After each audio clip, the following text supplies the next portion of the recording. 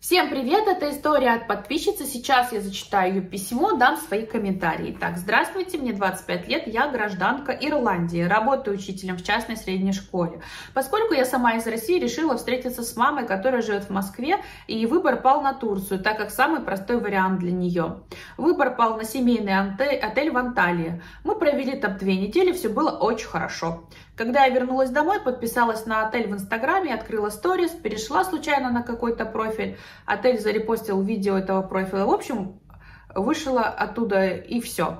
Потом мне написал парень, пользователь, принципе, это не суть. Мы начали общаться. Ему 25 лет, он с Диарбакыра, курс средний в семье из 7 детей. Мы постоянно общались обо всем. Он поддерживал меня в трудный период на работе, мы разговаривали на разные интересные темы. Не было ощущения, что он из Турции, э, никаких подкатов, комментариев по поводу внешности. У меня появилась какая-то даже влюбленность. То есть он завоевал ваше доверие. В какой-то день я пришла с работы, мы созвонились, и я сказала, что я соскучилась. Это было первое двусмысленное такое высказывание. С этого момента мы постепенно съехали с дружеского общения на романтичное. Он никогда не был навязчивым. Из нас двоих, наверное, даже я была более прямолинейной и открыта. Мы общались так 4 месяца. Он четко знал и сказал, что у него никого нет, и кроме меня он с девушками не общается, только если какие-то родственницы из семьи. Мне тяжело писать это, но напишу как есть. Мы пару раз секстились, инициатором была я, и у меня двоякое отношение сейчас. С одной стороны, у меня не было грандиозных планов по замужеству, я просто делала то, что хотела, получала удовольствие, а с другой стороны, у меня в голове сидит девушка строгих нравов, которая это осуждает. Я боюсь, что и вы с подписчиками меня закидаете камнями. Были фотографии без наших лиц, без опознавательных знаков, исчезающих в сообщениях в инсте с обеих сторон. Знаете, что я здесь скажу для вас чисто психологически? Здесь неважно, закидают вам там, не знаю, тапками вас я, подписчики или еще кто-то. Вы, в принципе, это ваша тема по жизни, вы живете, ваша самооценка опирается и живете свою жизнь, строите с того, а, будет ли у меня одобрение чье-либо, поддержит ли меня, скажет, что я хорошая. То есть в вашей голове вот живет эта правильная девочка. Не это правильная, как очень часто идеалистка, может быть, какая-то отличница, синдромом отличника человек, а, правильная в моральном плане, а, в бытовом и так далее, вся правильная на пятерочку, это всегда мы делаем для одобрения нас, для того, чтобы нас любили, дарили любовь. Это условие, за которое мы получаем любовь своих родителей. Об этом, пожалуйста, задумайтесь. Это к вопросу о вашем общении с вашей мамой оттуда ноги растут. И тут не важно, что о вас скажут и подумают чужие, вообще незнакомые вам люди. Важно, что вы думаете сами о себе. Вы сами не знаете, чего конкретно хотите. Потом об этом сомневаетесь, а правильно ли я поступала. Если у вас есть четкое убеждение, понятие своих желаний, чего я хочу, Никакая критика, ни страх того, что меня покритикуют, оценят, закидают тапками, для вас это вообще никак воздействовать на вас не будет. Вам это будет абсолютно безразлично. И тогда у вас вот эта тема вообще, как то, что вы мне написали, она вообще не возникнет сама собой. Ее просто не будет почвы для этого. Давайте дальше. Его уволили из отеля, он вернулся в Диар-Бакыр. Через пару месяцев он начал писать, что э, нелегалом поедет в Германию. Я сказала, что небезопасно это. У нас был разговор на час на эту тему. Он заявил, что принял решение и едет. И закрыли тему. Но он потом постоянно писал, что рискует жизнью, чтобы дать мне хорошее будущее. Еще ничего не было, уже вам трагедия уже себя ломает э, великомученика. У меня все в порядке с карьерой, у меня есть жилье и друзья. Девушка от себя написала. Он говорил, что мы поженимся, я приму ислам и буду жить с ним в Германии. В кавычках бред. То есть вам самой эта идея, да, не очень. Я не реагировала на это. Он начал писать, что либо нелегалом ездит, либо нам надо заключать брак, и я вывозить его должна ко мне в Ирландию. Была серия таких манипуляций, стало мне понятно, что меня используют для смены места жительства. Какое счастье, что вы это поняли. Я очень за вас рада. У него в Инстаграме были девушки, но не прям чтобы много. Может, штук пять. И как-то я ему верила поэтому. У него доброе лицо, честный взгляд. Здесь у нас смеющийся смайлик. Но как-то одна из них э, загрузила рил с кучей фотографий, и я его в, на них увидела. Там промелькнули какие-то фотки с парнем. Я не поленилась, скачала этот рил, замедлила ролик и увидела там этого курда на нескольких скринах. Э, шлет поцелуйчики, улыбается вовсю. То есть они болтают по видеосвязи. Откуда она и сделала эти скрины. Что, в принципе, окей. Но он там мне сказал, что так не делает, что он мне, получается, соврал. Я привыкла к тому, что люди прямо говорят, где мы стоим. То есть я ищу серьезные отношения или мне нужен только секс и так далее. То есть конкретная определенка. Я ему сказала, что знаю, что он параллельно общается с другими девушками. Он отпирался до последнего. То я должна ему доказать это, то я какая-то... Э, то это какая-то немка, которая была до меня, то подруги его мамы, потом русские девочки, ну, подружки. Короче, было мне непросто. Начал э, всех их бегом удалять, писать какие-то глупые подписки публичные, как он меня любит. Прислал скрин переписки на английском языке с какой-то немкой, типа подругой, ну, это та, которую он собирался переезжать нелегально, э, где он прислал мое фото и писал, как он меня любит, какая я красивая. Прислал мне этот скрин, детский сад. Но тут я поняла, что мое-то фото было исчезающим, и отсылала-то я это фото месяц назад. То есть он скринил мои фотографии, так что в Инстаграме-то это не оповещалось. Первая мысль была, естественно, что все, все наши откровенные фото тоже он скринил. Наконец-то. Я больше скажу, сто процентов он это и делал. Я прошу его удалить это все. Он э, клянется Аллахом, что удалил, но я так не думаю. О боже, если такой этот Альфонс, который ищет себе женщину, чтобы куда-то переехать, куда-то дернуть для счастливой своей жизни, он, он мамой да родной будет клясться не только Аллахом, и будет говорить, что все, он все сделал, все как надо. Кому вы верите? После этого общения мне продолжать не хочется. Он манипулирует, пишет, как скучает, что ненавидит себя и так далее. Я думаю, как мне теперь поступать? С одной стороны, это уже все сделано. Женское тело – это просто женское тело. Урок мне на будущее. Я не хотела, конечно, секса с 24 февраля. С ним у меня это вернулось желание. А с другой стороны, не хотелось бы, чтобы он фотки отсылал моим друзьям. У меня, конечно, закрыт профиль, но он может кого-то найти в рекомендациях. Ну, не знаю, в общем. Э, он не знает адреса и моей фамилии тоже. Из хорошего.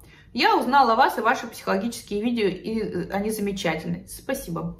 Вернулось мое сексуальное желание. Возможно, это временно, возможно, это была временная причина, не в нем. Короче, я поняла, что менталитет парней Западной Европы – это мое, а не Восток.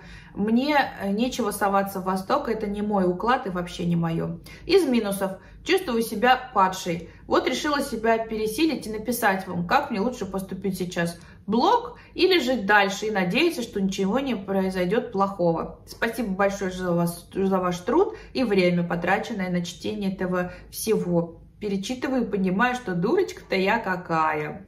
Хорошо, что вы тут понимаете, это уже классно, это, говорит, уже не зря. Но что я могу отметить? А, боже, вы что, себя привязываете а, неким чувством вины перед самой собой, вот этими угрызениями, что я падшая и плохая, дабы он мне никак не навредил, я, пожалуй, давайте это, буду дальше делать вид, что я с ним общаюсь, чтобы он от вас не отстанет. Это надо будет, это, короче, это растянется очень надолго, на пару-тройку месяцев. Это его, назовем так, работа, это его план. Он э, любит э, ждать, долго писать, не отставать, ну, дятина, геройство, вот это все. Вы от него вообще так легко не отделаетесь. Я не думаю, что он вас будет шантажировать там фотографиями или еще с чем-то. Может быть. Вот ставя точку, будьте готовы к этому, что это может быть. Если вы хотите максимально незаметное сделать, не просто блог, вы по-честному, никогда для вида делают и оставляют приоткрытую дверь.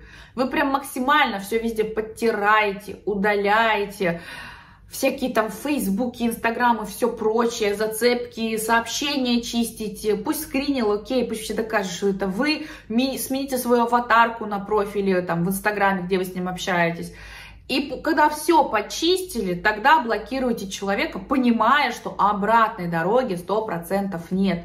Это не про то история, что мне стало грустно, никто мне вечером не пишет, и я его разблокировала и написала сама. Вот этого нельзя будет делать. То есть 100% все, до свидания. А, тогда есть шанс, что, возможно, там, не какое-то, назовем так, месте э, отсылания там фоток и всего прочего, этого не будет. Скорее всего, у него просто таких дамочек очень много, судя по всему, и за каждой так вот э, шантажировать, э, убиваться он, наверное, не будет. У него есть вариант повыгоднее, это женщина из Германии, которая может к себе забрать, так что, короче, вы не супер для него такая наживка, короче говоря, не такой лакомый кусочек, как более перспективный есть, и он поэтому вам скажем так, про Германию там зачесывал, скорее всего, у него там есть какие-то наработки в этом плане. Если вы будете тянуть кота за одно место за хвост, например, с ним, не с ним, то, вот это все, это вот прямая дорожка к вашему шантажу. Если он видит, что вы к нему, за него держитесь, ломаетесь, неустойчивы в своих суждениях и желаниях, тогда он будет видеть, что на вас можно давить, и тогда давление применит к вам. Тем более, видите, он манипулировать любит, вы это в нем считали, давление оказать вообще за нифиг делать, короче говоря. Имейте в виду. А, решите для начала для себя, чего я хочу. А, перспектив там, естественно, нет. Это типичный вообще Альфонсо. Никаких разговоров. Ну, это просто. Не тратьте свое время, дорогая. Даже так скажу. Не тратьте свое время, э, которое потом пожалеете. Вот даже сейчас пишите письмо, читали, говорите, я написала письмо, сейчас его читаю, думаю, какая я была дурочка. Вот у вас уже оценка идет. Оставайтесь на этой позиции, просто главное плавно сейчас съехать с вот этого, с минимальными потерями для себя. Я уже это рассказала. То есть блокируйте, но заранее все максимально везде. Там даже в WhatsApp там сообщения подотрите все, в Инстаграме все, все, все, что только можно. Переименуйте свою страницу, поменяйте свою фотку, заблокируйте его и все это сделать, чтобы он нас потом вообще найти не мог. Ну, конечно, по лайкам, там еще что-то найдет по переписку, но вы понимаете, да? Человек просто будет видеть, что он везде заблокирован, там во всех соцсетях, мессенджерах всяких, у вас другое имя, никнейм и все прочее. То есть... Эм у него хотя бы будет понимание, да, вы не, не скажем так, э, внезапно все сделали, но у него будет понимание, что вы, вы по-другому хотите, что у вас новый этап, что как раньше вы уже не тот человек, назовем тогда. То есть у него будет понятие какое-то, что все, это не то, что было раньше, станьте другим человеком, назовем так, в этом, в этом плане. А, зачем вам это надо? Плюс вы запутаете его, поменяете никнейм, а, фотографию смените, профиль у вас закрытый, связать там какие-то всплывающие фотки, которые он, удаляющиеся, да, которые он когда-то мог заскринить, привязать вообще к вашему аккаунту будет проблематично. В общем, подойдите к этому с головой максимально, скажем так, скройтесь и будет вам счастье. Потому что вы уже видите, понимаете, что тут не про какую не про любовь, не красивые слова. Я даже его, знаете, анализировать, разбирать самого как персону не буду, какие-то турецкие моменты. А, мне вообще, знаете, резануло сразу, уволили с работы. То есть не сам ушел, а уволили. Сейчас у нас заполняемость отелей вот на Новый год 99%. Туристы никуда не уехали. Отпускники с октября уехали по турам, и отели заселили те, кто переезжают, э, скажем так, эмигранты, те, кто уезжает там от всяких мобилизаций и всего прочего. Они живут в отелях. Отель сейчас стоит столько же, сколько квартиру, короче снять. Ну, кто не для ВНЖ, там на два месяца останавливаются люди, в общем, на какой-то перевалочный пункт такой. Все в отеле в Анталии забиты, у них полно туристов и иностранцев. Там в этом году очень у нас теплая зима. В Анталии 1 января люди купались, мои друзья там живут, они купались 1 января дети в воду лезут, то есть 20, 19, 20 градусов вода. Да, холодно, но загорают в купальниках. То есть э, людей навалом. И если удалили с отеля в сезон его, уволили, а у меня вообще вопросик, то есть он что-то там такое делал, за что его можно было уволить. То есть не очень хороший сотрудник. Два месяца сидел дома в Диарбакыре, не пытался подработать никак. И удает такой, я буду приезжать нелегалом в Германию. Да, здрасте, приехали. А поработать ты не думал вообще-то? Короче, работа есть везде и всегда, может быть, она неприятная, а, не какая-то, знаете, статусная, может быть, но, поверьте, уборщики тоже везде всегда нужны, а кто это будет делать, если никто, все откажутся, то поэтому, э, знаете, что работу всегда можно найти, если есть желание, желания у него не было, вот это мне сразу, я, о, легкой жизни чувак хочет. В общем, э, никто вас тапками не закидывает, но на будущее я вам хочу сказать, предупредить вас, э, наметить вашу работу над собой. А, вот эту правильную девочку для оценки надо в себе как-то становитесь плохой, похуже. Э, в общем, работаете в этом плане, вам будет тяжело. Вы всегда будете ждать оценки, вы будете принимать какие-то действия, решения, поступки делать в своей жизни из-за того, что опираясь на то, что обо мне подумают, будут меня любить после этого поступка или нет, будут меня принимать или нет, а будут последствия или нет. Это не про счастье, это про постоянные вопросы к себе и оценку самой себя себя. Это называется самобичевание, потом из этого у нас идет понижение своей самооценки и так далее. Любите себя просто так за то, что вы есть, просто без повода. И плохую, и хорошую. Не раз... занимайтесь своей расчлененкой, не вычленяйте что-то из себя. Э, вы этому научились из детства от родителей, скорее всего. Вас любили за что-то. А, это время пришло это поменять.